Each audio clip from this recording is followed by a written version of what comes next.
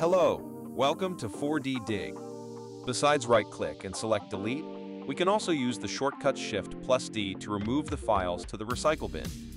However, if you change your mind, how to find them back to the PC. In today's video, we are going to share two methods to recover it. Before start, please subscribe to us, and you won't miss other videos. Method 1. Recover Shift deleted files by 4DDiG Data Recovery. I will first introduce the most efficient method, and you won't need to turn on some functions before recovering files on Windows. 4DDiG Data Recovery Free is a professional software that can scan your computer and find out any lost data. Moreover, you can get 100 MB free if you share it on social media. Download and install 4DDiG Data Recovery.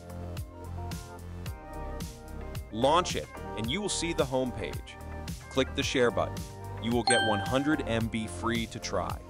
Now, select the location and scan it. Select the types you want to scan. 4DDiG starts to scan and find all possible data from the drive. Once you find the file, select it, click Recover, and save it to a different location.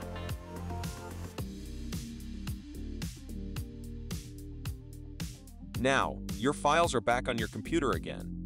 If your files are corrupted, you can also click Repair. Method 2. Recover Shift deleted files by File History. File History is a utility that is built to Windows 10. It still have a chance to restore your files back to the backup point. This function should be turned on ahead of the time. If you didn't, now it's a great time to enable it. To use File History, open the folder and click the arrow to expand the ribbon, and you can find the History button.